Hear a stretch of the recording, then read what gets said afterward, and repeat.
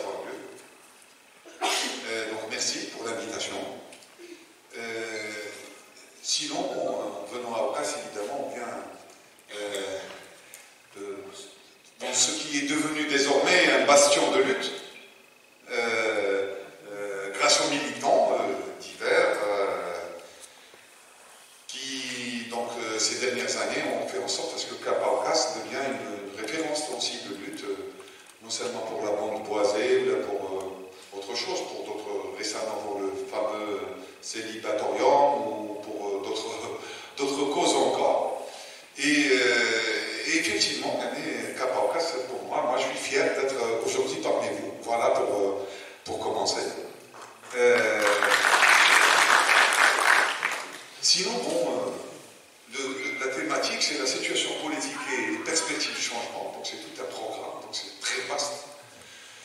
Et euh, donc je vais essayer quand même de, ne pas trop m'étaler, mais généralement, quand je dis ça au début, généralement je m'étale un peu après. Donc euh, bon, j'espère pouvoir ramasser quand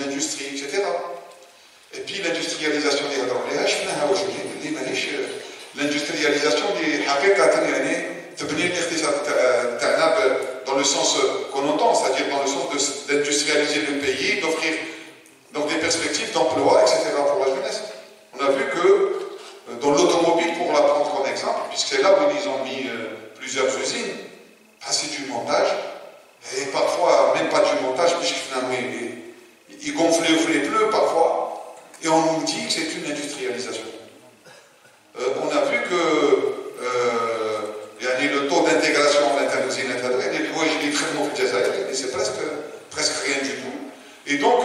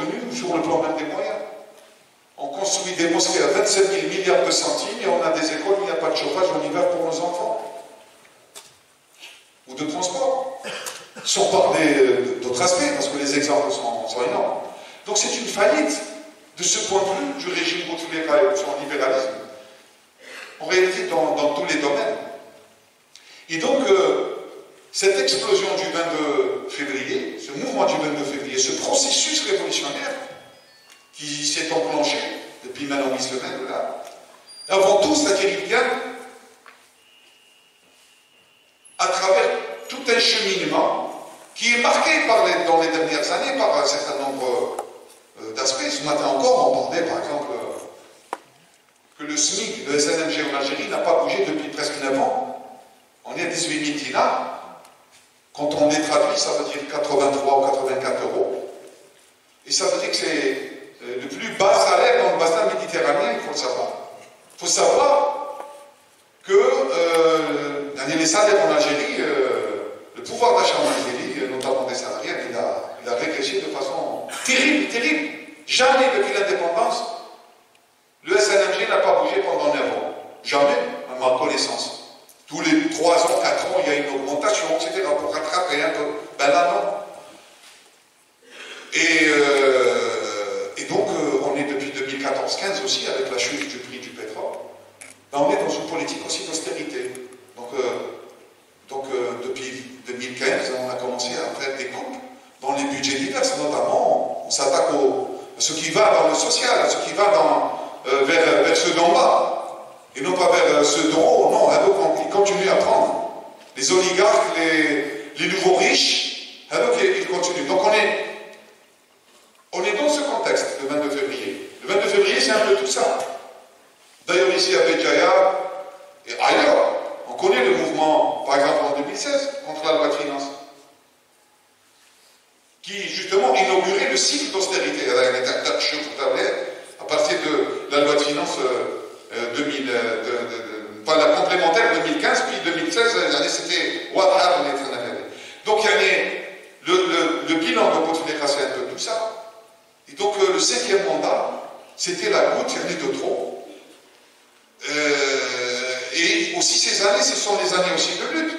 C'est-à-dire qu'en Algérie, il y a eu, bien sûr, il y a eu la vague de 2001, luttes de 2001, et cette vague de 2001 s'est estompée à un moment donné, euh, début des années 2000.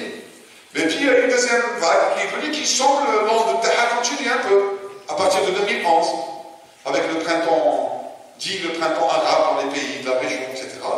Et cette vague euh, continue. C'est-à-dire, euh, je veux dire qu'à travers ça, c'est que, euh, bien sûr, on n'est plus dans la période de 2001 avec les émeutes, avec tout ce qui s'est passé, mais on est dans une période où, c'est-à-dire, les, luttes continuent. il y a des harakat, des, des, des grèves par-ci, des grèves par-là, de petits mouvements de contestation, etc. Aouka, c'est est un exemple d'ailleurs, avant le 22 février, on luttait à Aoukas, de petites luttes pour certains, d'importantes luttes pour qui comptent. C'est des luttes qui ont montré qu'en Algérie, les travailleurs, les masses populaires en Algérie, ne sont pas genoux, ne sont pas écrasés, ne sont pas résignés. Non, on a continué à lutter. Même à petit feu, on a continué à lutter. Et aujourd'hui, c'est une lutte. Cette, cette, résistance est en train quelque part de. Euh, contre la Kabylie, quand euh, en 2001, on se sentait seul, et ben, on a donné l'exemple. Et aujourd'hui, ces exemples, ces expériences sont en train de fleurir. Comme en 80, comme euh, dans les années 80, après, le printemps 80. Donc, je veux dire que le contexte actuel, la crise actuelle, n'est pas nouvelle. Elle est venue évidemment dans le processus de crise de l'État algérien depuis, ben, avant l'indépendance, quand il était embryonnaire, l'État algérien. Mais je ne vais pas m'étaler là-dessus. Je veux juste dire qu'à la fin des années 90, qui déjà votre débat, il a déjà pour, euh, en quelque sorte, dépasser une crise, qui était donc la crise, euh, la, guerre civile et tout ça. Ben, Bouteflika pour ceux qui s'en souviennent, la Transmontana et ailleurs, quand il y a les multinationales dans les forums économiques, ils voulaient venir en Algérie où il y a des dollars à prendre, il y a des main-d'œuvre C'est comme ça qu'il a commencé. Avec le, prix du pétrole, il a mis un peu d'eau dans, son pain, mais euh, il s'est attelé à construire une oligarchie euh, jdida. Bourgeoisie jdida, oligarchie, il est contrôlé. l'oligarchie اللي كانت من قبل اللي كانوا يعني مع السلطان dans les années 90 ceux qui sont devenus milliardaires à travers euh, Général Baïa, ou Général Toufir, ou Général Touati, etc. etc. Donc on a commencé à les, les, mettre un peu, les marginaliser un peu. On ne leur donnait, plus la même place dans le centre de la décision politique au niveau du pouvoir.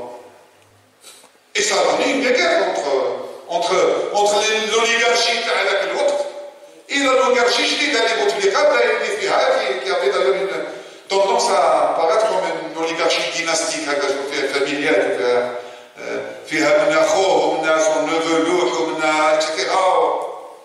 وتحكوت يكون ويحيى يكون الاخر هي le développement donc, de, cette, de, cette, de, de cette oligarchie. Et à un moment ou à un autre, bien sûr, euh, ça a été contesté. Ce qui est contesté, vous savez que Bouteflika, son AVC, par exemple en 2013, son AVC est intervenu deux ou trois jours avant le 27 avril, si ma mémoire est bonne, d'abord le de grâce. Ben, le 24 ou le 25 février, avril, donc deux jours avant, on pouvait lire sur les journaux euh, euh, son implication directe dans la lettre qui a été publiée par le le journal, son application euh, directe avec une lettre publiée en facsimilé où il donnait son accord pour ce qu'on appelait l'entreprise Wogol du Qatar qui devait prendre toutes les stations à la place de Naftal pour faire l'autoroute. C'est la première fois où on l'impliquait ouvertement en 2013. Ça a donné ensuite donc donc ça veut dire les services qu'a euh, par rapport à, le clan a été marginalisé, il y, a eu, des choses comme ça. Ils ont été dégommés, tout fait des compagnies juste après. Et donc cette guerre, euh, elle a aiguisé, aiguisé la crise, elle a développé euh, euh, des choses, et là, c'est-à-dire que c'est une brèche. C'est une brèche qui s'est ouverte dans, cette, dans ce conflit, dans cette confrontation. Pour nous, c'est une brèche qui s'est ouverte et en même temps, le cinquième mandat, comme je le disais, c'est une humiliation supplémentaire qu'on ne pouvait plus supporter avec toutes les humiliations que j'ai essayé de, rappeler sur le plan social et d'autres. Et donc là, aujourd'hui, on, est, euh, euh, face à une situation euh, assez particulière où l'irruption des masses populaires par millions, où les grèves ouvrières sont par, par centaines, où on parle de processus révolutionnaire, et où donc cette mobilisation a obligé, a obligé le pouvoir à reculer petitement. Mais c'est une première victoire quand on voit que Bouteflika a été donc euh, obligé de sortir par la petite porte, obligé d'être chassé du pouvoir, même si c'est déguisé en démission, par la mobilisation des masses populaires en Algérie. Mais le système, le système qu'a mis en place Bouteflika, le système qui est là depuis même avant Bouteflika, n'est pas abattu. Ce système est là. Alors que les millions d'Algériens, ils disaient système dégage, c'est l'un des mots d'ordre principaux. Eh bien, le système veut, par un tour de passe-passe, euh, euh, mettre en place un, un, stratagème de continuité. Et يوصل نظام يبقى نفسه او قال لك انا بوتفليقه فرضنا عليه يروح قايد صالح دونك يلعب الدور نتاع شغل لو سوفور في الحقيقه du système il veut jouer le sauveur de la situation etc du côté du peuple quelque chose comme ça mais vite on est en train de voir le Libna Keshmena quand on voit la répression et, et, et j'en passe mais Gaïd Sadi surtout c'est l'un des figures du système Bedoui c'est aussi Ben Saad aussi et le peuple n'est pas dû je veux dire les masses populaires quand ils disent ils doivent partir tous, etc., c'est parce que c'est évident que c'est pas avec ces gens, mais surtout pas avec ce système. Et le fait qu'ils ont démarré, euh, les gars, ils démarrent, ils démarrent son, son, éruption dans la scène politique en disant qu'il faut que ça soit l'article 100 dans le cadre de la Constitution. Dès qu'ils veulent limiter les choses dans le cadre de la Constitution, ça veut dire qu'on veut la continuité du système. Parce que la Constitution, c'est la Constitution du système qu'on veut qu'on veut faire partir. Et dans le cas de la Constitution, il n'y a pas de solution. Parce que la Constitution faite, triturée plusieurs fois par Baudelaire, etc., n'est pas faite pour résoudre la situation actuelle. Elle est faite pour que le système puisse continuer à exister. Alors on veut nous entraîner dans des débats sur la Constitution. On nous dit l'article 102, par exemple 7 et 8, et d'autres ils disent 83, et d'autres ils disent 23, et puis euh, on est en train de tournoyer. Euh, alors que non, ce n'est pas notre débat. Le débat n'est pas un débat juridique. Le problème n'est pas un problème juridique.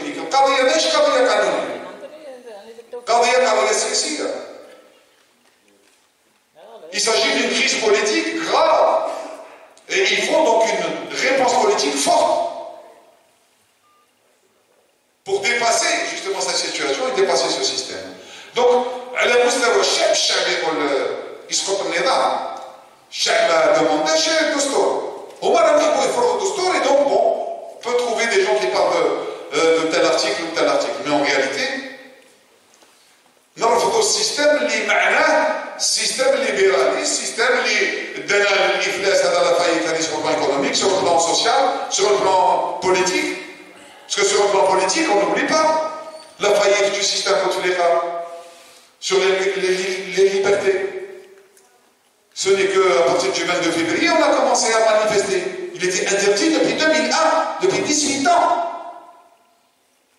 On nous a imposé cette dictature, cette dérive monarchique de Bouteflika. On nous a interdit la liberté d'expression pour s'exprimer dans les médias, etc., qu'il y ait un débat devant le peuple, etc. Il n'y en a plus.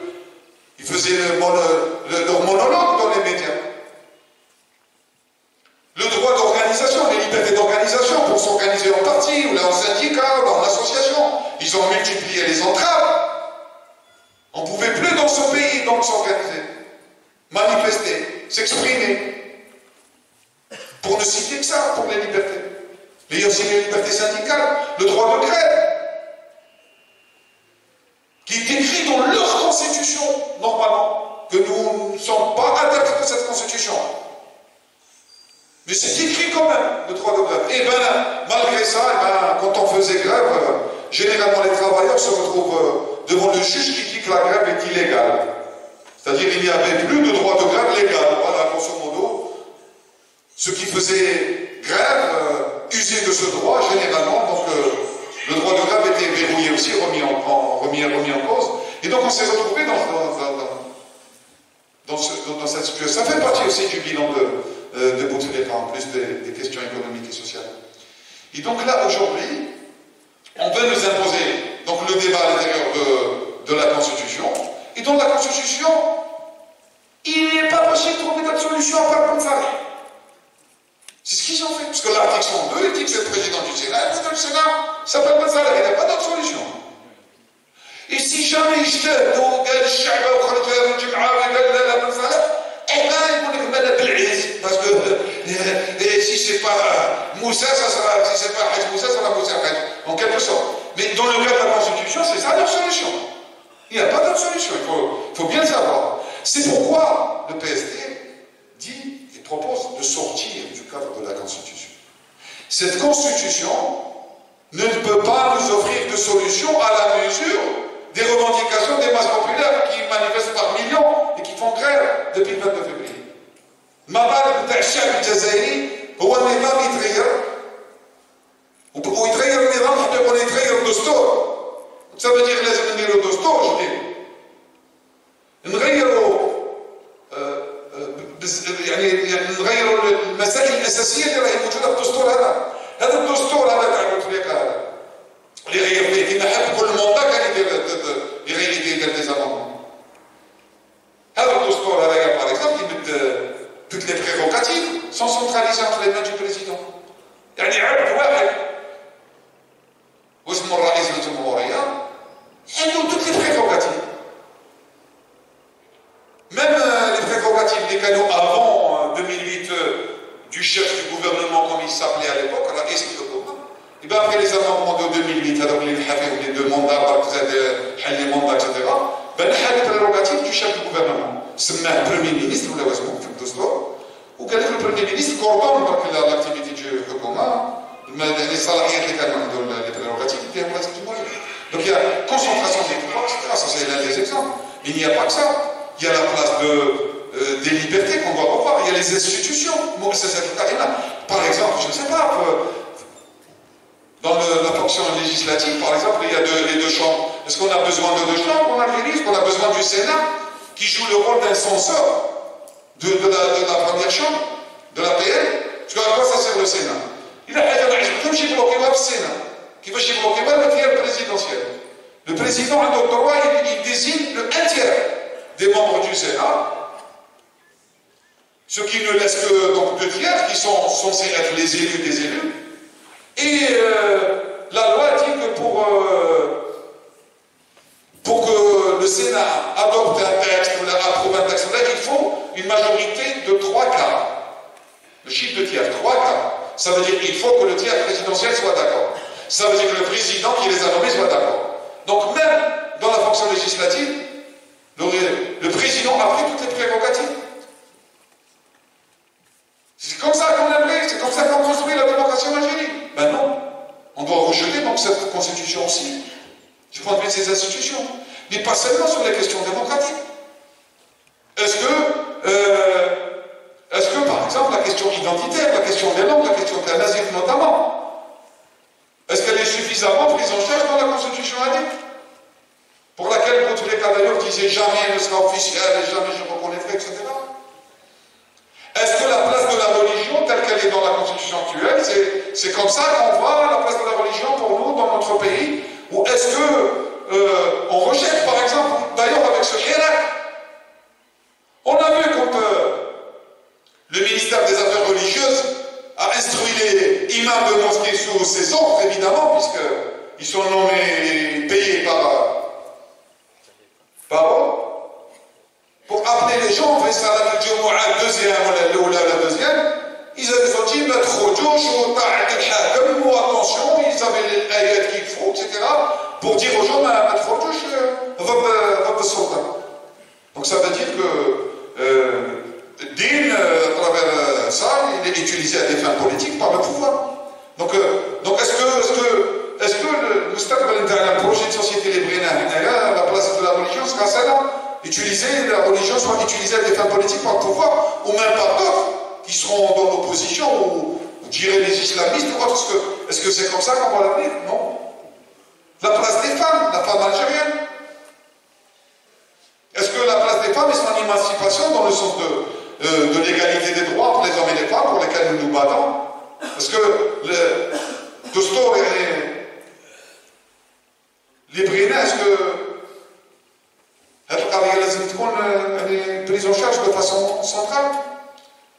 C'est ça la perspective de Il n'y a pas beaucoup de solutions. Alors ce que nous avons, nous avons le pouvoir à travers donc, euh, la proposition de Gates à l'armée qui veut jouer le rôle de sauveur, etc., et donc euh, qui impose à travers un passage en force, parce qu'ils sont en train de faire un passage en force. Ils sont en train de dire, c'est la 102, c'est comme ça. Et ils sont en train de dire dans les médias, mais chacun demandait ça, alors que chaque jamais demander l'application de la Constitution, c'est pas vrai. Chaque dit, arrête, ça, il même de partir. On lui dit, euh, euh, dégagez.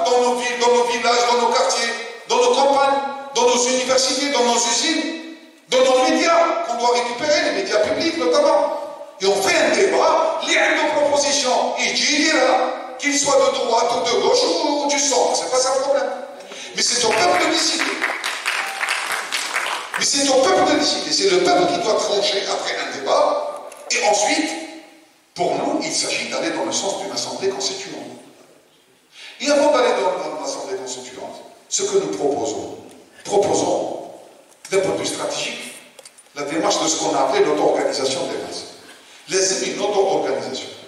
If the international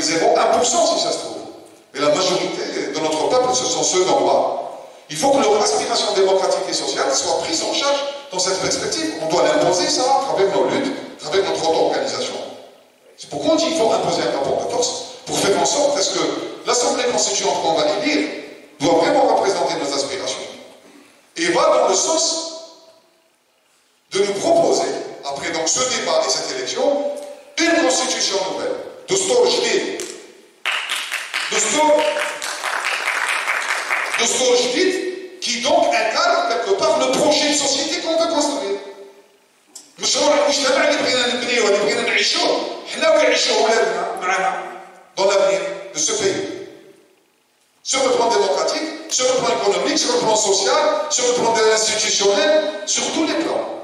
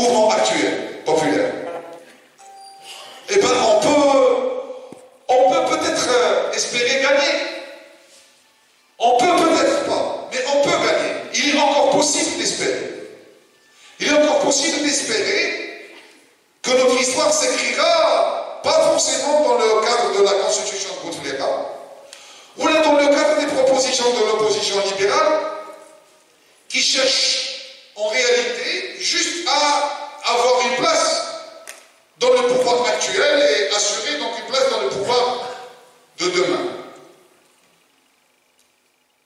Ceux qui sont euh, s'appellent opposition, mais en réalité ils sont d'accord sur le libéralisme économique, ils sont d'accord sur, euh, euh, les perspectives sociales sont qu'ils nous proposent, d'ailleurs, les bombettos, les restes, etc.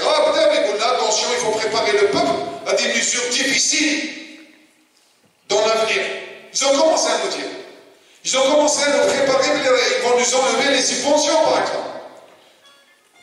la baguette, soit 30 dinars, voilà, je s'achète à 50 ou 60 dinars, parce qu'ils veulent enlever le... Et ils disent on va cibler les, nécessiteux. Et ça, on nous a déjà fait ça il y a plus de 20 ans. Ça s'appelait le filet social.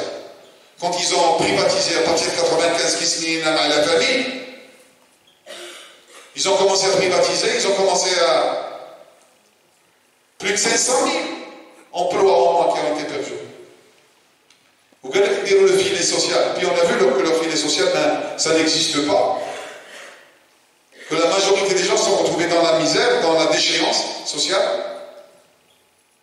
Et donc, euh, qu'on ne nous raconte pas cette histoire, on nous dit les subventions et les transferts sociaux, les, les, les, les soutiens des prix, les produits de nécessité, ils profitent aux riches. Ce qui est complètement faux. Ils mènent ce discours sur toutes les chaînes qui s'appelle opposition, le pouvoir, là-dessus, ils sont d'accord. Alors qu'en réalité, non, on n'a pas vu de riches, ils s'en ont camion qui est psy à 25 dinars. Ils cherchent au moins, ils cherchent au candidat, qui n'est pas d'ailleurs subventionné. Et puis, euh, s'il y a des riches qui en profitent, il faut, eh ben, normalement, les taxer. Quand on nous dit Ferina, pour l'angile, et puis au lieu du pain, eh ben, il faut le taxer. Il faut que l'État soit capable de dire pour l'angile, hein, allez subventionner. Euh, euh ça c'est subventionné ça. Si tu l'as détourné pour le gâteau, eh ben, eh ben on faut taxer. C'est aussi simple que ça. C'est-à-dire que l'État devrait faire son travail. Chose qu'il ne fait pas, puisque les riches en réalité ne profitent pas ici. Les riches profitent quand ils ne payent pas d'impôts nous sommes à plus de 12 500 milliards de dinars d'évasion fiscale. Les, riches profitent de la situation quand ils ne, ils déclarent pas les travailleurs à la classe. Quand ils, euh, détournent, euh, quand ils surfacturent, quand ils euh, surfacturent les importations. Les riches profitent, et la liste est longue. Ce n'est pas, dans, pas dans les transferts sociaux. Ce n'est pas dans l'hôpital du peuple gratuit, la médecine gratuite, avec ses défauts, avec ses limites. Mais quand même, les riches marchent, les riches ont les cliniques privées. ما يقدروش العمال والجماهير الشعبيه نتاع البلاد هذه ما يقدروش ou plus haut encore, il reconnaît les privilèges, à commencer par contre les femmes. Donc, euh, donc ce n'est pas vrai, c'est une attaque pour encore nous accomplir. C'est une attaque pour euh, encore euh, nous mettre euh, voilà. Et, de ce point de vue, cette opposition libérale n'est pas en train de proposer des, des, solutions réellement en faveur de la majorité de notre peuple. C'est pourquoi on ne peut pas partager ces propositions. Donc nous, encore une fois, pour euh, aller vers euh, la conclusion, c'est que le PSD considère que notre perspective, c'est une perspective de lutte. C'est la lutte qui va nous permettre d'imposer un rapport de force et changer les choses réellement dans le sens des intérêts de la majorité de notre peuple. Et la perspective de lutte, dès qu'on baisse la garde, eh ben, ils vont, essayer de nous écraser, ils vont essayer de, faire avancer leur projet. Le projet libéral, le projet des oligarques, le projet des, patrons. Et là, aujourd'hui, on est des millions à se battre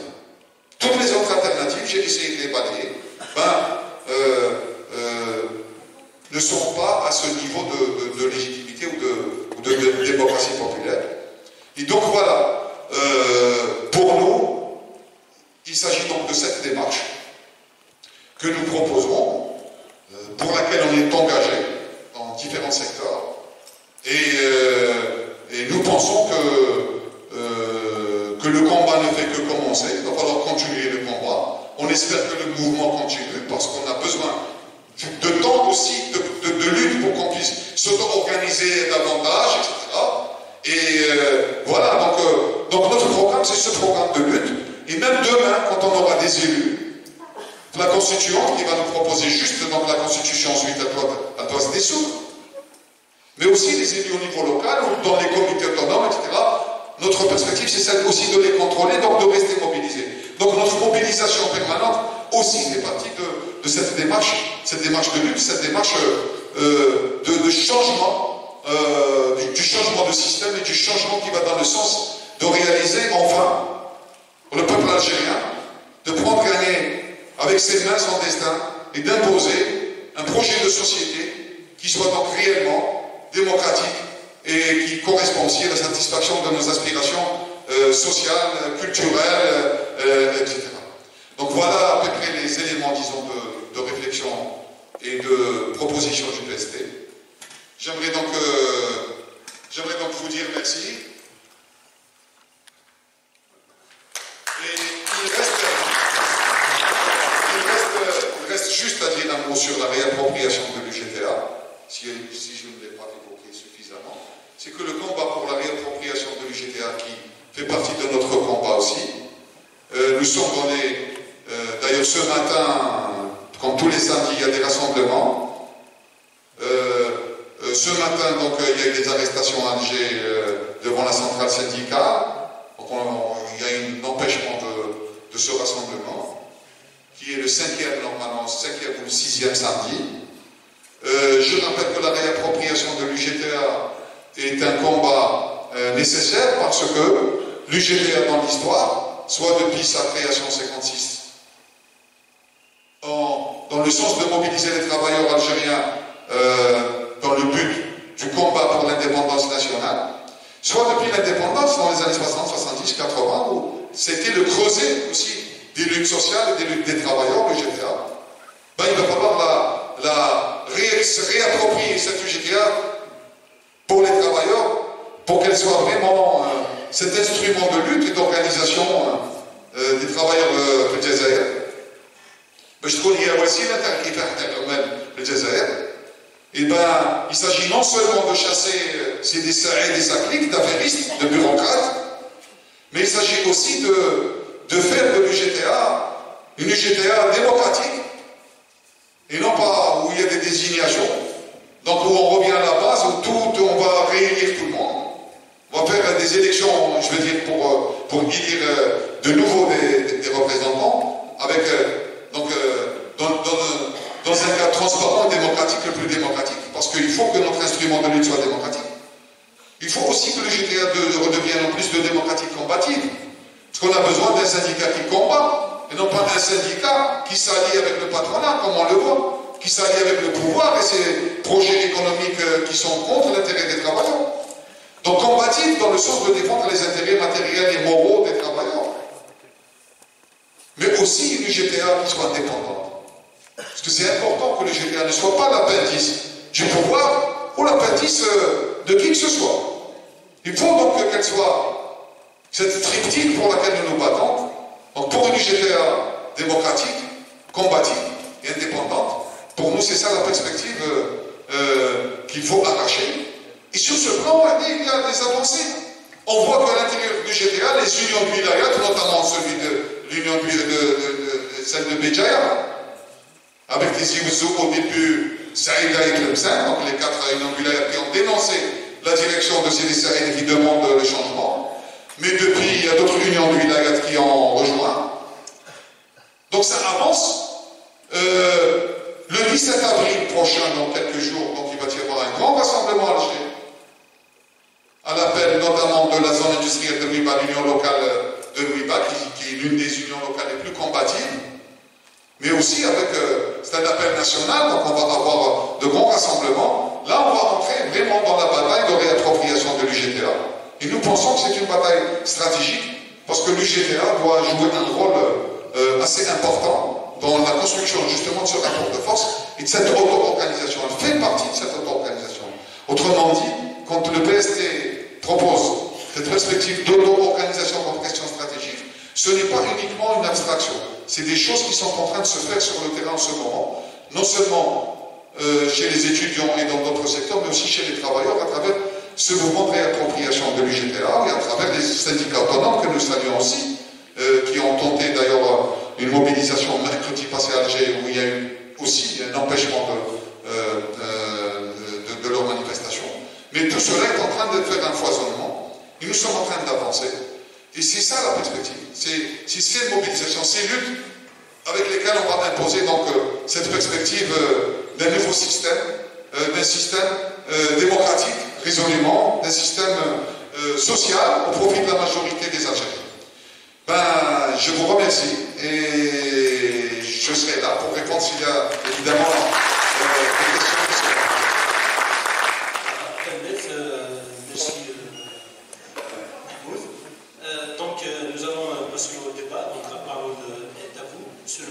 nous allons prendre euh, en alternance deux questions euh, d'en bas, deux du balcon, pour être euh, donc, égal.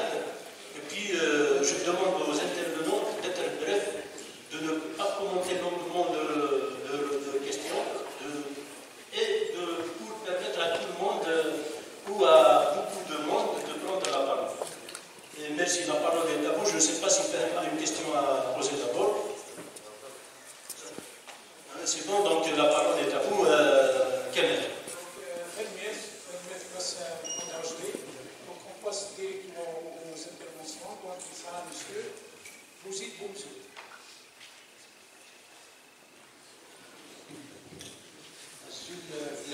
Bienvenue pour euh, l'orateur.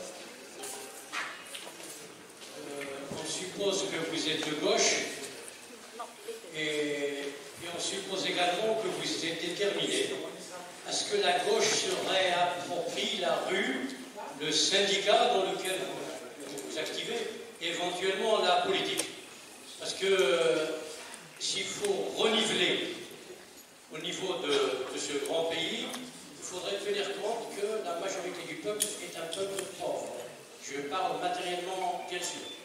Et puis aussi, il faudrait que, aller un petit peu du côté spirituel et que cette constitution ne ramène pas encore l'article 2 et 3 dans laquelle se cachent les dictateurs, parce que ça ne travaille que pour leur euh, profit.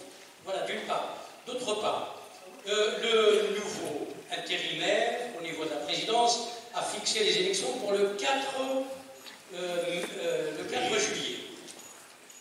Je suppose que vous n'êtes pas prêts, vous et tous les autres partis, euh, quoique certains partis qui ont occupé le devant de la scène politique, ceux qui tenaient les détenteurs du pouvoir, ont tous les moyens et les paramètres pour parer au plus vite euh, aux échéances prochaines, puisqu'ils ont euh, leurs instruments, ils ont leurs moyens et les bons moyens pour pouvoir euh, rafler les mises euh, électorales. Est-ce que vous avez, vous, de l'opposition, est-ce que vous avez commencé des discussions avec d'autres partis politiques, soit pour empêcher ces élections du 4 juillet, ou alors y aller avec force et mobiliser? Je vous en prie.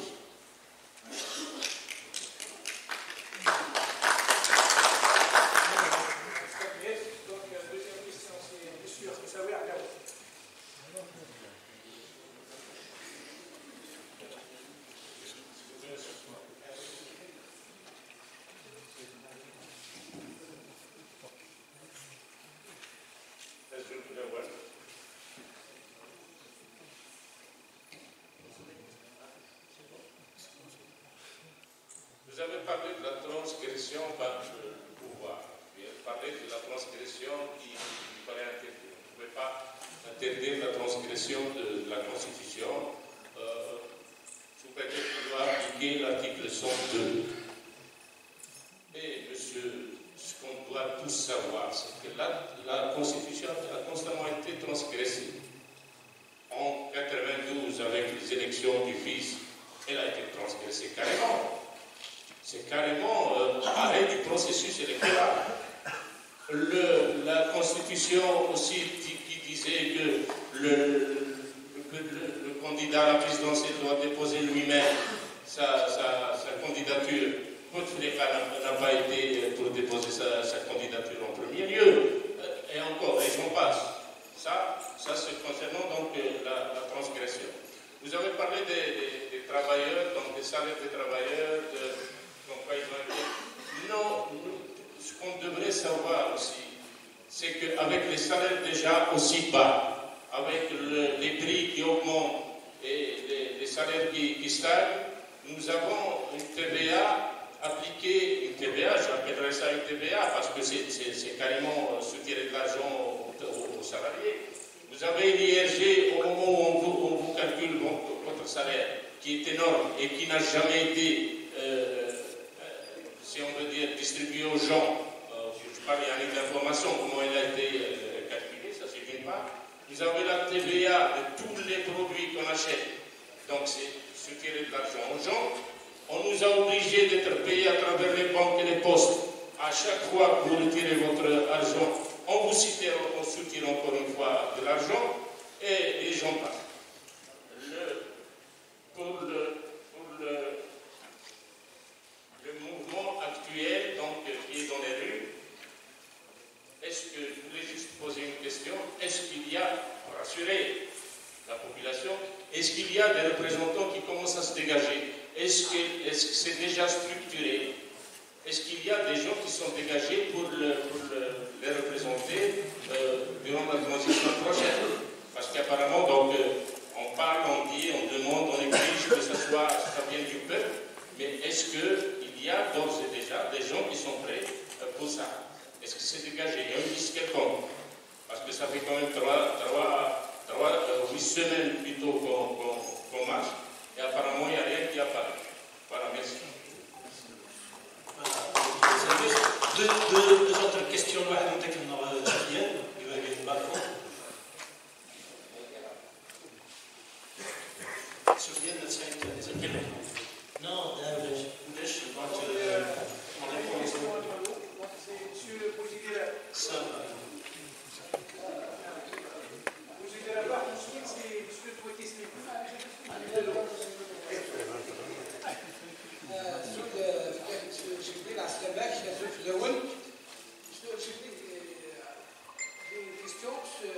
concernent la générale parce que tout à l'heure vous avez parlé dit que vous êtes pour la grève générale euh, Monsieur Chili, on a vu déjà deux grèves.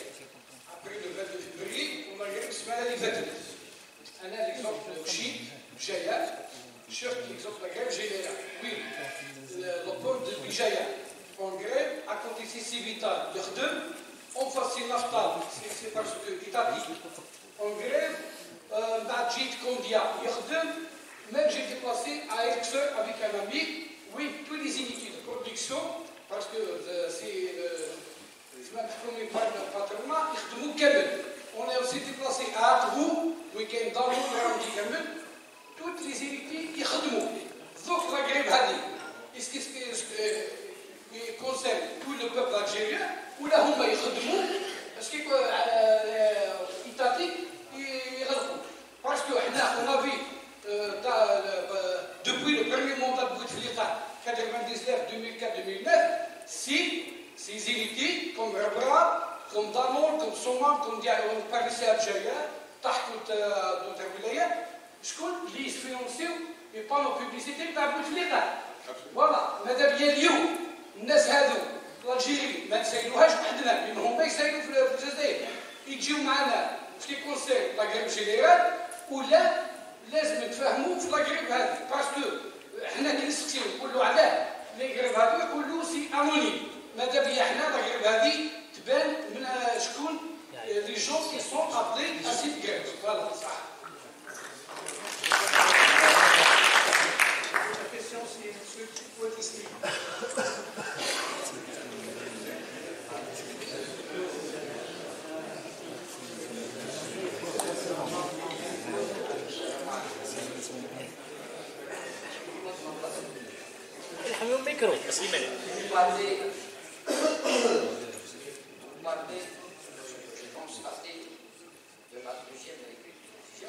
poser une question. Est-ce que dans ce pays, il y a eu des élections En article 1, 2, un syndicat, vous le dit, qui soutient le patronat du Sidi Il y a des vous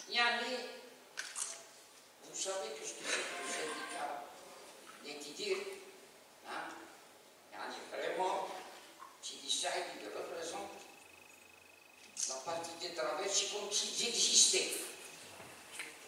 Trois. Maintenant, vous vous éternisez sur des articles de ceci, de cela. Qu'est-ce que 25 millions d'Algériens qui se donnent dans la rue Si 25 ans, c'est des voyous, milieu, il y a des savants, il y a, il. Ils réclament les droits de ce pays. Aujourd'hui, nous voyons nos enfants. Ils ne chauffent le bahar, on s'en fout, hein. Ah oui.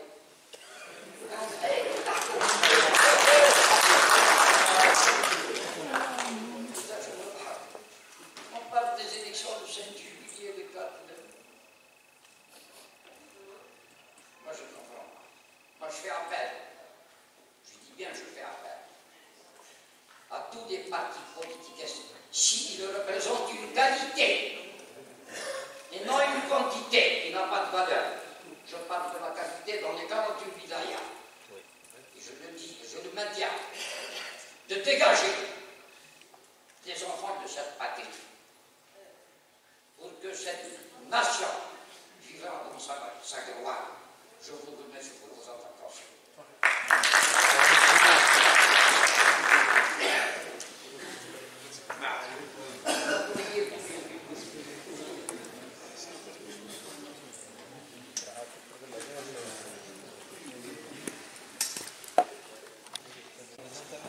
Alors, premièrement, les présidentielles, est-ce que le PSD, avec d'autres partis d'opposition, euh, se concerte par rapport au- à la présidentielle du 4 juillet, donc euh, démarche, etc.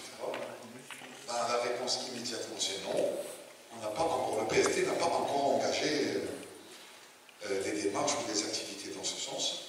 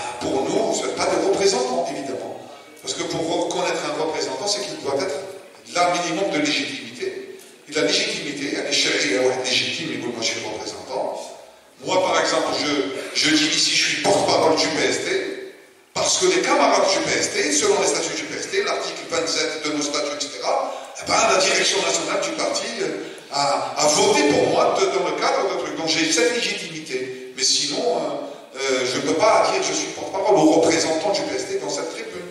Donc il faut être élu pour être représentant du RAC. Et l'élection que nous voyons, et la plus, qui donnera la légitimité qu'il faut, c'est celle de l'élection de représentants pour une assemblée constituante. C'est comme ça qu'on voit aller le, cap. Donc, donc ceux qui s'autoproclament dans les plateaux de télévision, euh, par ailleurs, les lobbying qui sont en train de se faire, etc. Et il y a des doigts dans des pourparlers, dans les coulisses, avec l'armée, avec euh, d'autres secteurs du pouvoir, etc. Ça, ça existe certainement. on le sait, il y a même des noms, ceux qui avancent est-ce que je dois citer des, noms que vous connaissez tous Ceux qui veulent être les représentants? Moi, je ne préfère pas citer leurs noms parce que paraît-il que ce n'est pas forcément une bonne chose de citer des noms, selon certains de mes camarades. Mais j'aimerais citer ce qui était écrit sur une pancarte de manifestants et de manifestantes. Et apparemment, à l'origine, c'est d'ailleurs un camarade aussi qui l'avait dit, un enseignant universitaire à Alger, qui disait représenté et soit, soit, soit, soit ils sont guidés, soit. Euh, voilà, donc c'est-à-dire, euh, euh, quand on n'est pas élu par le peuple, on n'a aucune légitimité de le représenter, évidemment. Il y a la question sur la grève générale et le secteur privé. Absolument, on est entièrement d'accord. Je suis entièrement d'accord avec l'intervention de, de, la PAC, donc, absolument. La grève générale doit toucher tous les secteurs. La grève générale, ce n'est pas pour le secteur d'État. Il va falloir qu'on se batte pour qu'elle touche aussi le secteur privé, qu'elle doit toucher tous les secteurs, mais tout en disant aussi que la grève générale, euh, euh, on ne la, voit pas comme, euh, comme une. On ne va pas s'infliger une contrainte, je veux dire, pointue.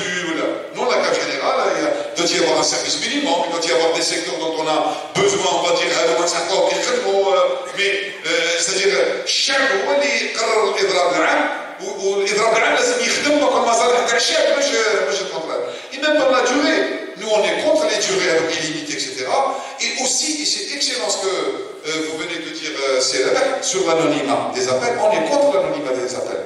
Il va falloir construire justement. Parce que l'anonymat permet aussi les manipulations, permet plein de choses. Alors que quand on est, on est, on syndicats qui appellent une grève, on est un parti qui appelle à une grève, c'est clair on peut mener le débat, on peut savoir qui est qui, etc. Et donc oui, il faut qu'on puisse atteindre ce stade. Mais il ne faut pas oublier que les appels anonymes aussi, c'est-à-dire ont un rapport avec un contexte. Un contexte euh, d'autoritarisme, un contexte qui a verrouillé les libertés, etc. etc. Et là, par contre, c'est-à-dire maintenant que il faut qu'on aille dans ce sens. Maintenant qu'au niveau syndical, etc., on a vu que les choses avancent un petit peu, etc., ben, il faut euh, qu'on prenne nos responsabilités, les forces syndicales, les forces sociales, les forces politiques, pour euh, euh je rappelle pour ce, à ce sujet, nous, le PSD, nous, on, est, je crois, le seul parti qui a appelé la grève générale le 24 février, c'est-à-dire le 22 février, le 24, mais le 26 février, ça a été rendu public, notre déclaration, pour des raisons techniques ou là. On peut, on peut d'ailleurs la consulter le 26 février sur euh, le, site du journal Le Matin électronique, le point DZ. Il était le premier à donner l'information. Il dit voilà, le PSD appelle la grève générale. Et donc le PSD, avec euh, pas anonymat, euh, etc., dans j'ai bien expliqués, nous pensons que la grève générale, contrairement à ceux qui mènent la campagne contre la grève générale, qui peur que les travailleurs, fasse éruption au centre euh, de, cette bataille euh, qu'on est en train de, mener aujourd'hui. Euh, voilà. je crois, je crois, voilà, je crois que j'ai un petit peu pris en charge ce que j'ai noté comme questions qui ont été évoquées. Bon, pour, pour la fin, donc M. Touati, je crois. Donc il a fait un appel. Bon, on est d'accord sur le principe, j'allais dire principe général, euh, bien entendu, mais comme ce n'est pas une question, donc euh, je m'abstiens à, à, commenter son appel. Là, c'est un appel, c'est très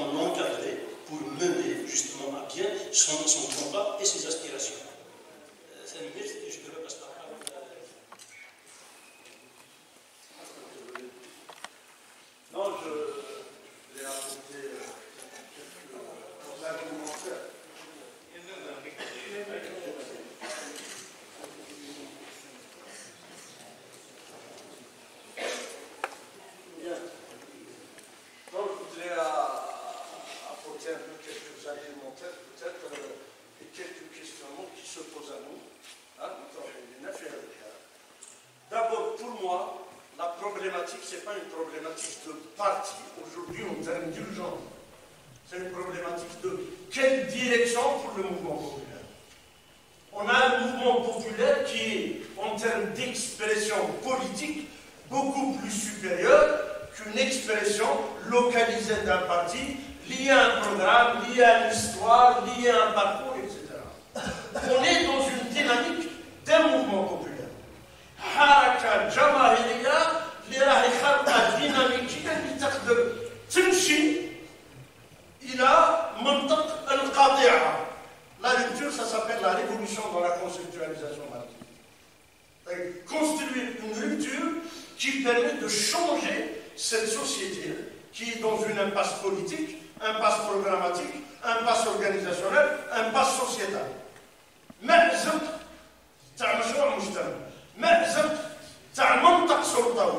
Mevsim tersiyesi tesisatına. Quelle est notre réponse aujourd'hui? Le mouvement populaire, quand on dit Hirak, c'est par commodité, parce que les mots ont une histoire. Hirak a une histoire marocaine pour, euh, pour euh, un territoire qui s'est battu et qui fait que Joseph est, encore réprimé, malmené tous les jours. Aujourd'hui, on a un mouvement populaire, mais d'une qualité exceptionnelle insoupçonnable. Mais euh, le, le, mouvement populaire qui ne se la télévision, les manifestations du vendredi, ils te disent Ouais, mais Moi, j'interprète ça comme ça. Ça veut dire que les formes de représentation politique telles qu'ils existaient jusqu'à aujourd'hui ne sont pas les formes de représentation que le mouvement populaire accepte. Ça veut dire qu'il se projette dans d'autres formes de représentation. Mahmoud a donné quelques éléments qui peuvent être des propositions dans ce sens. لازم الممثلين ننتخبوا بصح قدوه يقدر يتنحى باسكو باع الفيستا ولا شوا ولا ما خدمش الخدمه اللي دارها لازم الممثلين تنطلق تنتخب بطريقه الديمقراطيه المباشره ماشي الديمقراطيه هذيك où il y a plusieurs relais pour arriver, pour à, l'élection, la démocratie représentative, ou la démocratie participative. Une conceptualisation judite et Bidoui a essayé même d'en de, faire un concept constitutionnel, puisque la démocratie participative devait être constitutionnalisée en Algérie, comme elle a été faite fait dans d'autres pays.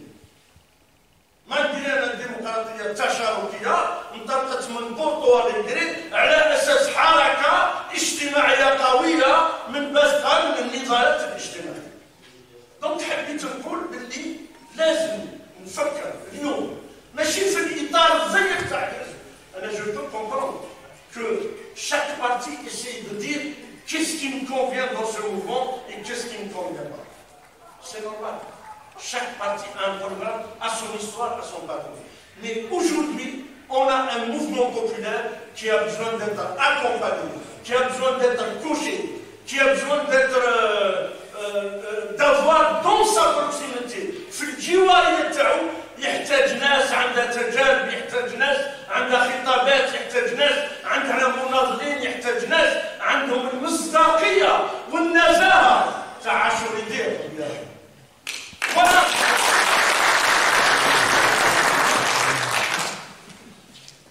Ça veut dire quoi النقطة الثانية؟ Ça veut dire اليوم ماشي هذا وش يعجبني هذا وهذا ما يعجبنيش اليوم il faut construire des rapports de force qui nous permettent d'avancer et de faire avancer ce mouvement populaire dans les aspirations, dans les attentes et même dans les fantasmes dans lesquels il se projette. Donc, quel rapport de force Attention, une sorte de pessimisme inconscient. Personne n'a dit que ce mouvement ne va pas aller loin. Non, ceux qui en parlent dans Facebook, euh, ils libèrent leur, leurs émotions, c'est leur droit. Mais quand on est impliqué en tant qu'acteur, en tant que sujet, et non pas comme des gens qui subissent un mouvement, on doit se dire que ce mouvement est porteur d'espérance durable et il faut qu'il dure لازم تكون عنده دوامه هذه الحركه الاجتماعيه quels que soient les scénarios et quels que soient les formats qu'on est en train de lui donner. Ça veut dire le Doustour, parce que la constitution algérienne, depuis 62, est anticonstitutionnelle. بالمضمون تاعها بالهيئات تاعها بالناس اللي يهضروا تما Ça veut dire que les institutions de la représentation démocratiques formelles ne sont pas démocratiques. معنى أن لازم نخلق آليات التمثيل الديمقراطية اللي تكون مرتبطة مع مقولات الحركة الشعبية. لازم نقدر نقول أن سي بوسيبل de s'auto-organiser sans avoir forcément des liens institutionnels. C'est peut-être impossible. peut-être que on n'est pas obligé peut-être d'avoir des institutions médianes pour représenter la population ou les classes ou les strates selon معناه أن pour moi il y a une dynamique qualitative dans ce mouvement populaire qui nous interpelle sur les formes de représentation politique, sur le politique, celle qui s'exprime. وكل من من القائد اللي ماشي قائد من الاستاذ تاع السوسيولوجيا والسيونس بوليتيك حتى الأكاديمي الكبير انظر.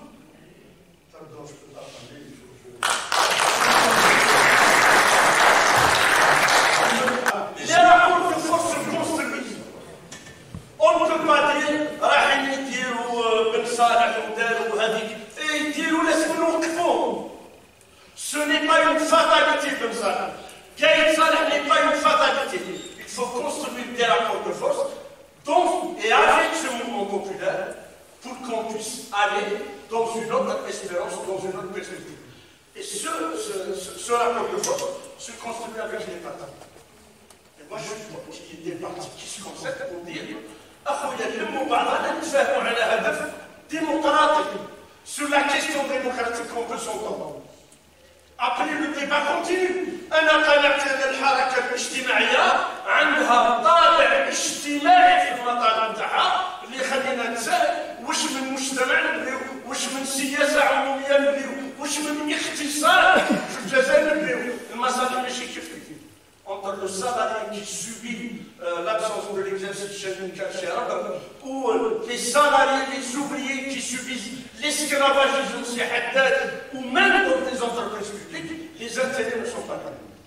Donc celui qui possède et celui qui ne possède pas. Celui qui a un salaire de 50 millions et celui qui a le salaire de 10 000. Même les insultes, là, on fait rien. Donc il faut arriver à amener à ce que le mouvement se pose les bonnes questions, et nous ne sommes que dans sa proximité pour essayer d'amener notre expérience, nos paroles, notre verbe euh, et notre, sincère euh, conviction que c'est dans cette voie qu'il faut aller. Merci.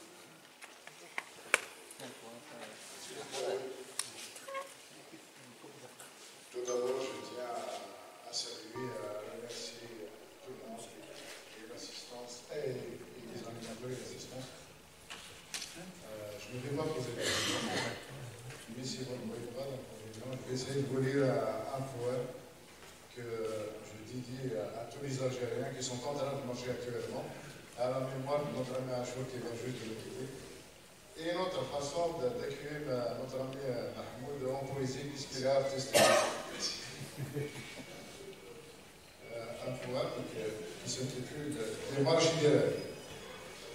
Demain, comme tous les jours, dans la paix de notre espoir, concurrent à toutes les rues, tous les quartiers et les trottoirs, ne nous pas fatiguer ou altier, et ensemble nous tracerons le chemin de la victoire.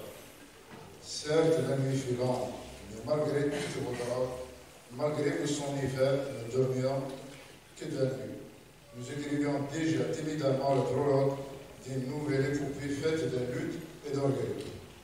Oui, déjà nous rions de vos histoires ridicules. Et si nous n'aurions pas vous faire lire la nôtre, prisonniers que nous étions de vos noirs tentacules, de vos enfants géoles, ainsi au rang d'apôtres. Nous voilà libérés, nous revoilà debout, écrivons ce qu'il y a de rêver depuis longtemps, d'un peuple qui d'une nation qui vous, qui marche de faire l'œil vers la radio printemps. Vous avez vos valets, vos bâtons, vos biberies, vos lingots, vos chapeaux, vos mille mensonges, nous aurions pour cela notre belle rage, nos cris, nos larmes et nos rires et la force de nos. Et quand par ces seules armes, nous vous aurions chassé, nous vous arrêterons, nous ne nous arrêterons pas, nous marcherons encore pour ces longues millénaires qu'on voulait passer, pour les dames. Qui réclament une voix et un corps pour que chacun de nous puisse choisir son hymne, pour chanter s'il le veut, tout seul, ses propres vers, pour que fleurissent enfin les pétales des et que nous les réparissions à travers tous les militaires. Merci.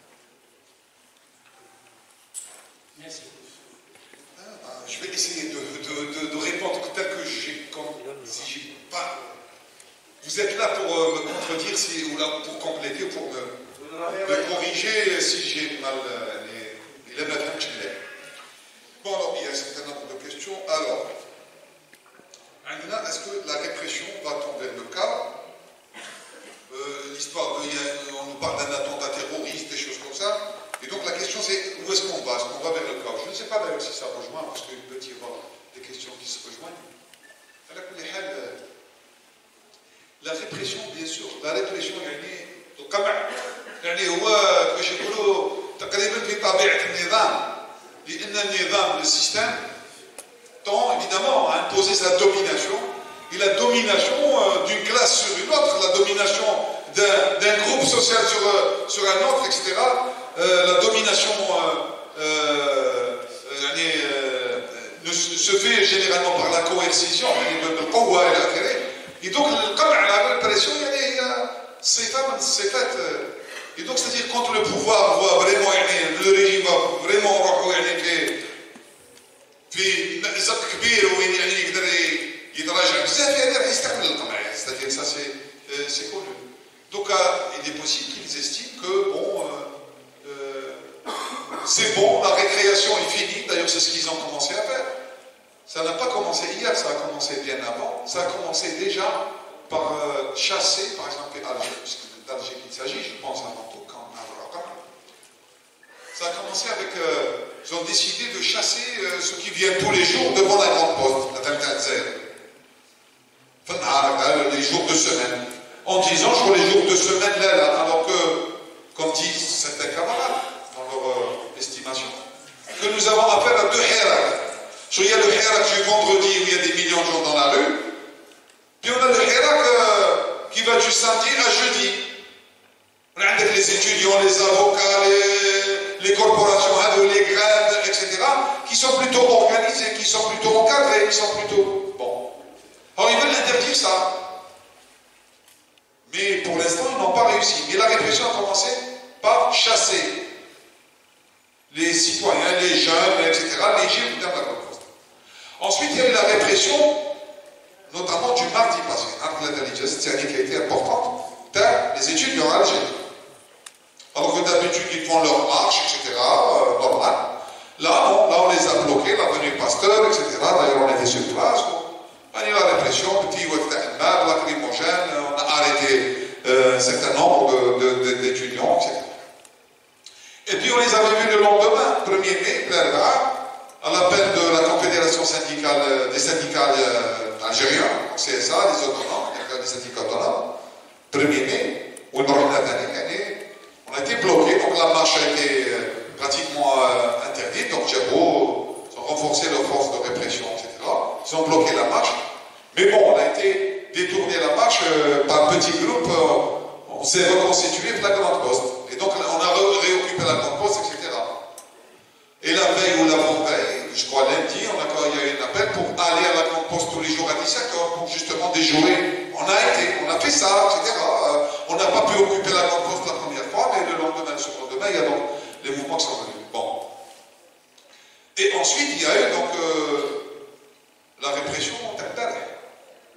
Mais la répression Takbare, on n'a pas tous les éléments d'information. J'aimerais être franc, mais donc je ne vais pas m'avancer plus que, que que les informations que j'ai, mais, il faut dire que ce n'est pas la première fois où ils ont usé de lacrymogène, etc., le, le vendredi. بالجماعة صراحة يعني تقريبا آه، قريب كل جمعه يعني الشبان في ألجي اللي يبغيو يمشيو للمراديه vers la présidence سون بلوكي في يعني تيليبلي لاكريموجين ماريتيجون تيوات تاع الماء اكسيتيرا يعني برسك تو لي فوندر يعني لا فان تاع لي مانيفيستاسيون دو فوندردي لا فان تاع فان جورني اونتر 17 و 18 يعني كاين آه، هذا القمع هذايا كان موجود. mais c'était pour bloquer les gens اللي يبغيو يروحوا للمراديه à peu près donc هو صرا البارح البارح c'est qu'ils ont apparemment il y a des, beaucoup de blessés استعملوا lacrymogène même داخل الغرب tunnel des facultés ce qui est quand même important ça a donné d'ailleurs beaucoup de etc. Euh, bon. On parle d'un attentat qu'on aurait déjoué, etc. Mais là, bon, il faut prendre les choses aussi avec des pincettes. Parce qu'il me semble qu'il ne faut pas des années et des années, donc depuis au moins 2001, quand on nous interdit de marcher, gardez qu'attention les islamistes ou attention les sécurités ou les attentats, des choses comme ça. Et donc, c'est-à-dire, ils peuvent, inventer ça, ils peuvent dire qu'il y a une tentative d'attentat pour faire peur aux gens pour les semaines à venir. C'est possible. Je ne le sais pas, j'ai signalé, mais je n'ai pas toutes les informations. Mais c'est-à-dire, c'est qui jouer un attentat, etc. Il faut aussi le prendre, bien sûr, euh, d'un point de vue aussi critique, parce que parce qu'il y a une stratégie de faire peur. Il y a toujours une stratégie de, nous faire peur, de dire attention, euh, après il y a attention, il y a. Bon, il va falloir comprendre euh, les choses aussi avec, de façon, façon prudente. Maintenant, la répression, euh, ce qu'elle va mener au chaos, je ne sais pas. Encore une fois, comme j'ai dit, nous, on est des militants politiques.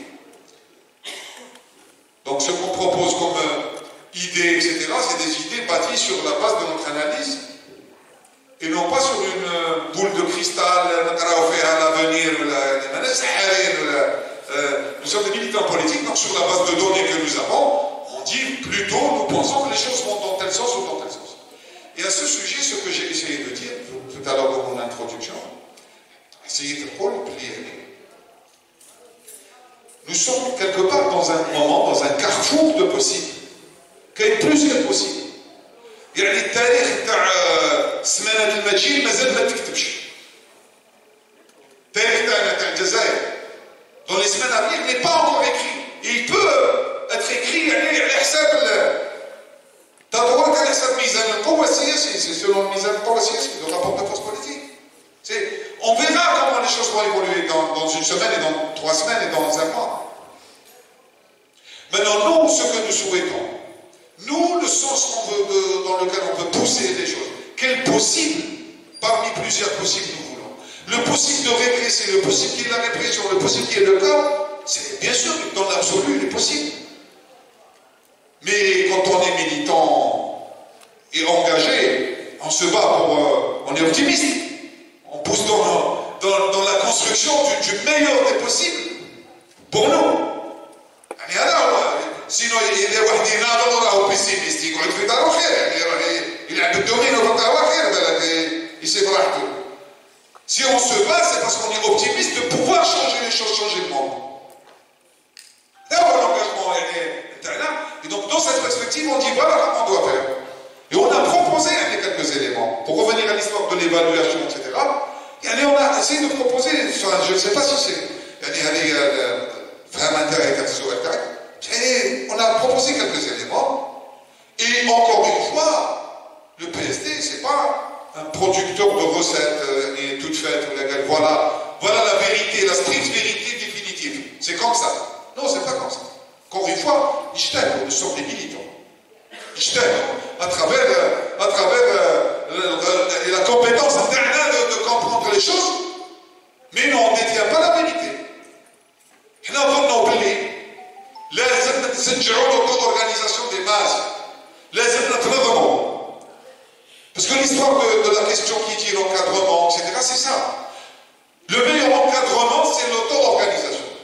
Le meilleur encadrement, c'est que nous avons fait euh, les quartiers, les usines, les universités, les villages, etc. On fait nos comités, on élit des représentants. Voilà, on va parler de les contre-pouvoirs. Ou bien les programmes, les dans ce qu'on appelle la dualité du pouvoir.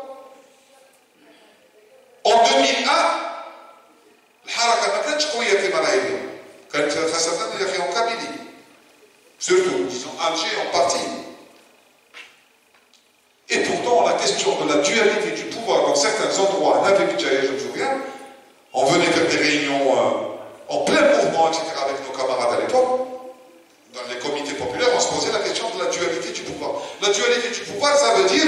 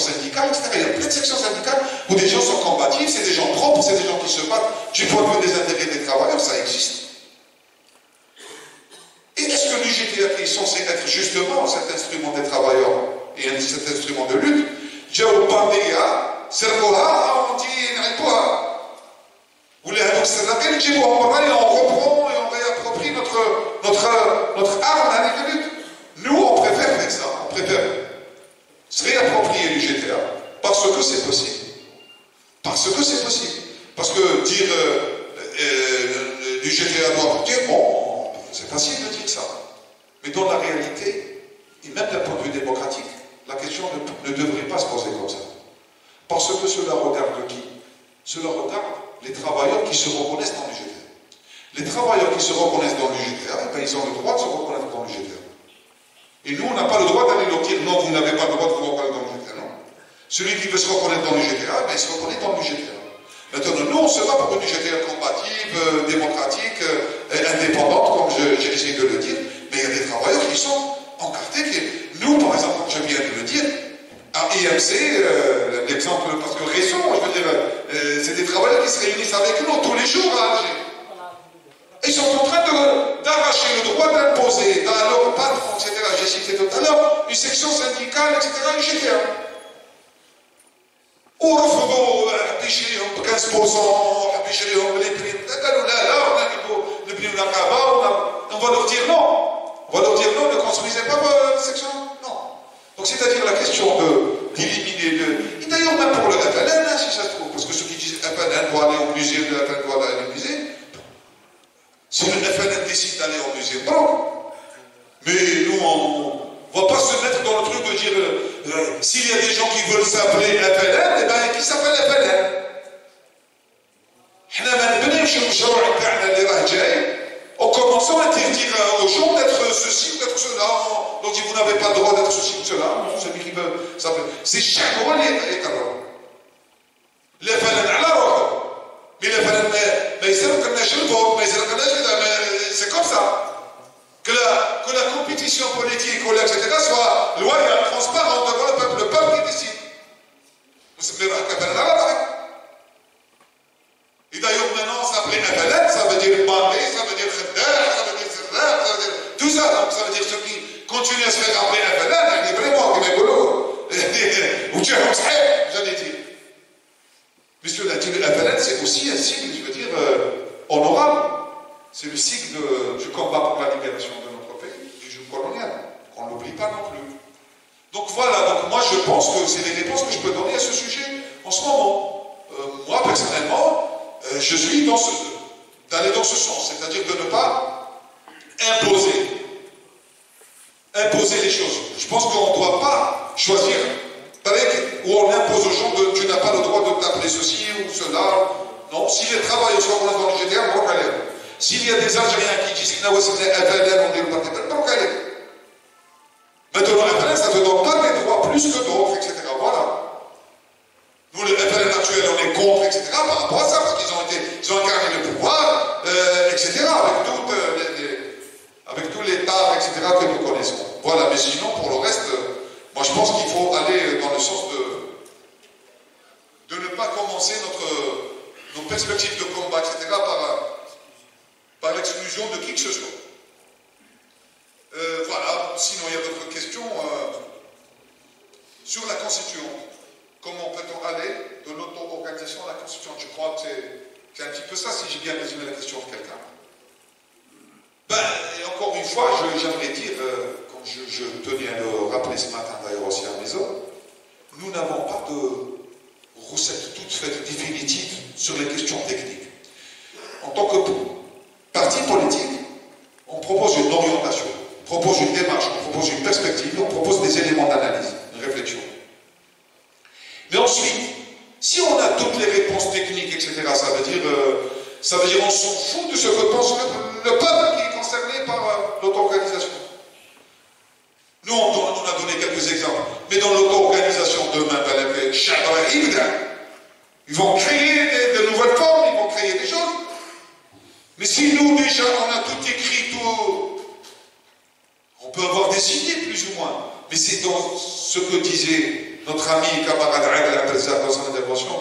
Il dit ce formidable mouvement doit l'accompagner, etc. L'accompagner, qu'est-ce que ça veut dire? Ça veut dire aussi respecter un certain nombre de ses relents, de, euh, sa, créativité euh, euh, aussi, etc.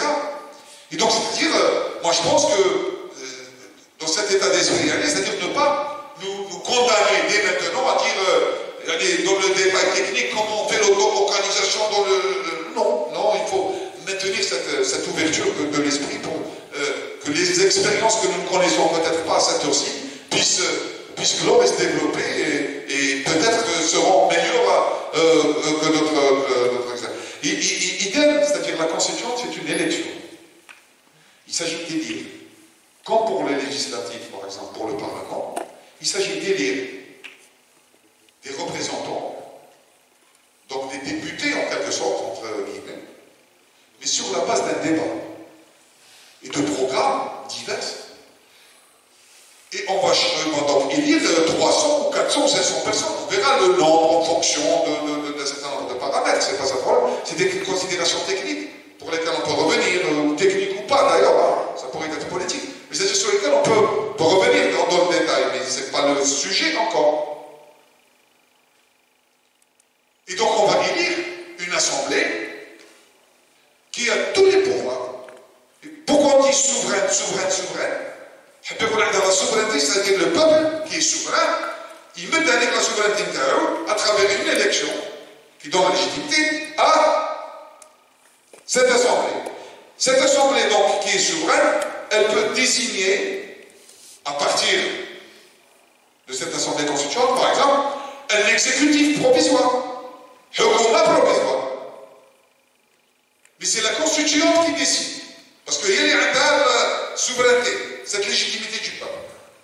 Donc, Machi, X ou Y ou Z, ou les télévision qui veulent faire des gouvernements, etc., avec Gaïd Saleh, je ne sais pas, c'est-à-dire avec sûrement, avec la de l'armée, sinon ils ne pourront pas.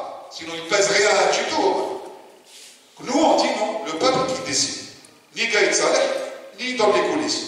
Et sur la base d'un débat transparent, sur la base de tous les programmes sont là, et on choisit librement et, on élit.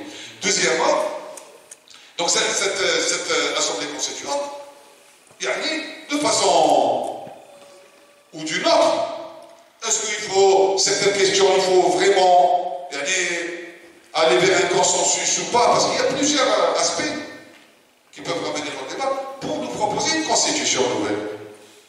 باش نديرو دستور جديد وفيه يعني كل المسائل. Voilà, يعني c'est-à-dire يعني العلاقه بين l'auto-organisation ou la constitution c'est comme ça يعني pour l'instant يعني هذه الصفه اللي نشوفوا بها la perspective à l'Assemblée constituante. Je ne sais pas s'il y a d'autres questions que je, pour lesquelles je dois répondre. Alors, euh, est-ce que le mouvement doit être encadré? Oui, euh, avec l'auto-organisation. S'il y a une question qui, a été posée dans ce sens, euh, l'auto-organisation est la meilleure façon d'encadrer le, le mouvement et de faire émerger ensuite ses représentants. Alors, sur les perspectives politiques, j'ai dit, il y, a, il y a plusieurs possibles. Et nous, on s'inscrit dans l'un des possibles, on pousse dans un possible, lutte pour euh, cette perspective que je viens de réexpliquer. Donc, euh, euh, comme j'ai dit tout à l'heure, rien n'est écrit encore. On va écrire par nos actes, par nos engagements, par nos luttes, on va écrire ce que sera demain. Et donc, euh, on ne peut pas aujourd'hui euh, dire exactement. Et, j'ai dit, il y a des possibles. Il est possible que nous ne réussissions pas à construire ce rapport de force. Il est possible qu'on ne puisse pas réaliser cette auto-organisation. Il est possible donc qu'on ne pourra pas aller vers la constituante, etc. Et donc on va se retrouver dans une situation où on va nous imposer euh, la présidentielle du 4 juillet. C'est possible. Mais, mais, mais, ce que nous disons, nous disons qu'il est possible d'aller dans le sens de ce combat. Et de toute façon, même si on ne va pas gagner dans l'immédiat,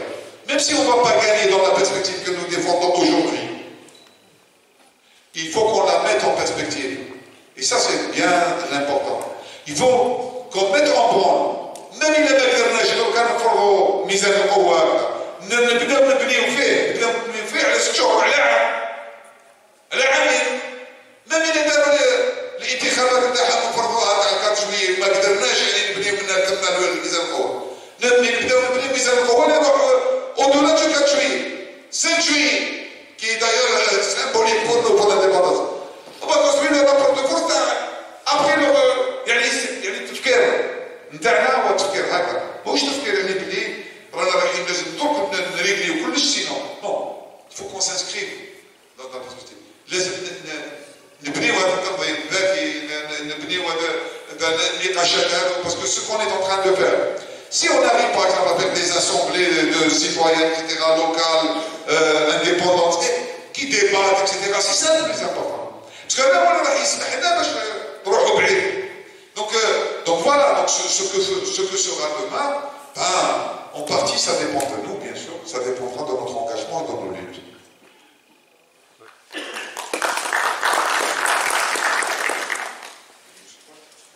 Je ne sais pas, j'espère avoir pris en charge les préoccupation et les questions qui ont été posées. Voilà, donc on prend euh, peut-être le dernier lot de, questions, euh, parce qu'il euh, était en conférence ce matin, donc il doit, être fatigué.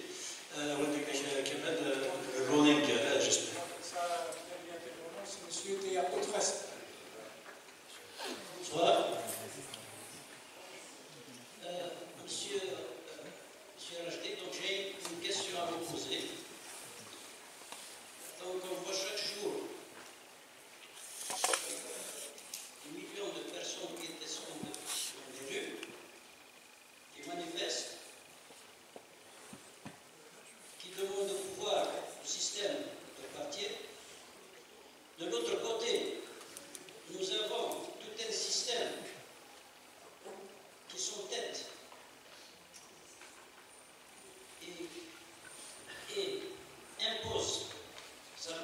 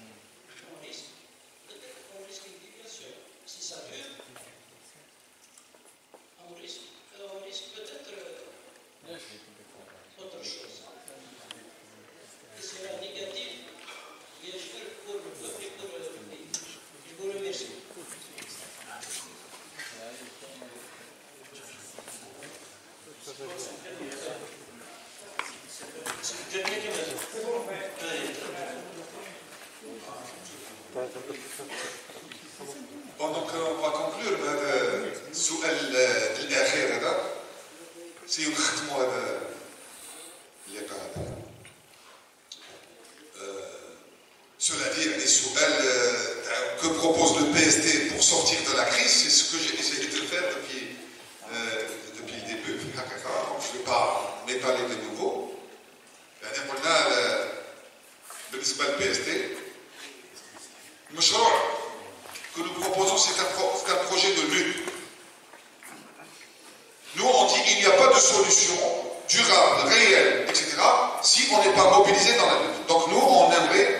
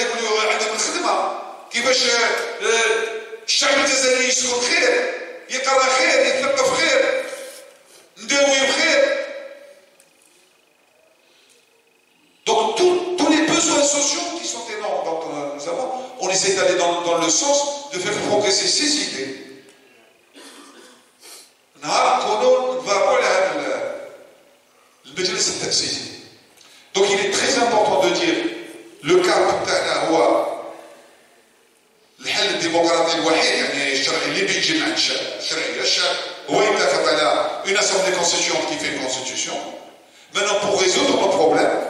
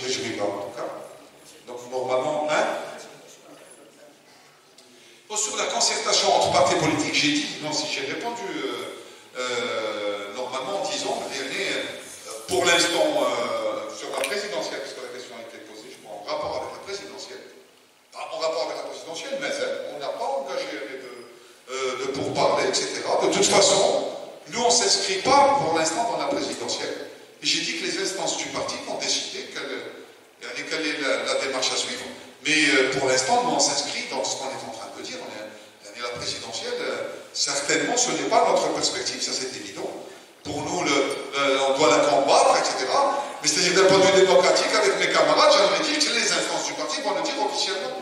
Euh, et, évidemment, et, non pas moi seul dans cette réunion, euh, dans cette conférence où je vois voilà.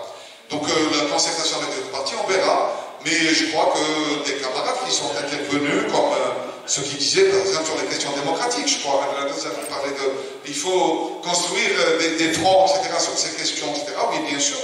C'est-à-dire parmi les choses quand on parle de ce combat, c'est aussi se battre pour élargir la brèche démocratique.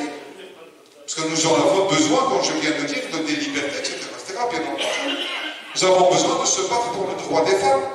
Nous avons besoin de se battre pour euh, euh, que l'absolutisme, etc., régresse. Que les perspectives démocratiques, euh, etc., soient vont en poupe. Donc on doit, aller dans ce sens-là. Ouais, les Mais cela dit, encore une fois, et pour finir, encore une fois, c'est-à-dire euh, c'est la lutte. C'est la lutte euh, euh, finale, j'allais dire. C'est la lutte, il y a le C'est notre mobilisation, il y a le garant. Il y a le garant démocratique. إذا الشعب ماشي هو اللي يوقف على حقه ما كانش من هذا يا جماعه راك توقف على حقها لازم حنا نوقفوا على حقها nos droits démocratiques, nos droits sociaux, nos droits à la dignité, à la liberté, لازم نوفوا عليهم غير نروحوا ما نوفوش عليهم يلعبونا يلعبونا الغلاف دونك إذا باللي طريق لو كومبا لا On s'auto-organise. On élit une, assemblée constituante pour aller vers une nouvelle constitution qui correspond à nos aspirations démocratiques et sociales. C'est هذا هو يعني البرنامج النضالي اللي يقرره حزب العمال الاشتراكي aujourd'hui dans le cadre de cette, de cette, de cette grande et merveilleuse et historique mobilisation des masses populaires dans notre pays. Et nous espérons que ce mouvement continue, et nous espérons que le combat continue, et euh, vive la lutte, car seule la lutte paye, sans oublier évidemment de dire euh, euh, euh, qu'à l'instar de nos camarades tels que Rachor Edir, ou euh, avant Antoine Rachman, ou avant Mohamed Rajdi, ou un certain nombre de camarades, je veux dire, qui nous ont quittés dans le sillage de notre courant, dans notre combat, ben, c'est dans l'esprit de ces camarades, pour lesquels on a beaucoup de, de respect, bien entendu, et c'est dans le sillage de, ce combat que nous euh, espérons continuer notre, notre lutte, et évidemment pas seul euh, dans les luttes réelles, telles qu'on est en train de faire sur le terrain de tous les jours, dans les syndicats, dans les universités, dans les manifestations, dans les luttes. On essaie de construire donc cette perspective. Encore une fois, je vous remercie. Et, et vive la lutte. Euh, merci au camarade euh, Mahmoud d'avoir accepté notre invitation, d'avoir euh, répondu à, tout, à tous nos, nos questionnements. Nikini, on se donnera rendez-vous le samedi prochain pour un autre invité et pour un autre débat. Donc nous allons recevoir euh, Omar Lamara, qui va nous parler de la résistance euh, à, l'envahisseur et à l'oppression. Donc le rendez-vous est pris pour le samedi. D'ici là, on dit la fin de à tout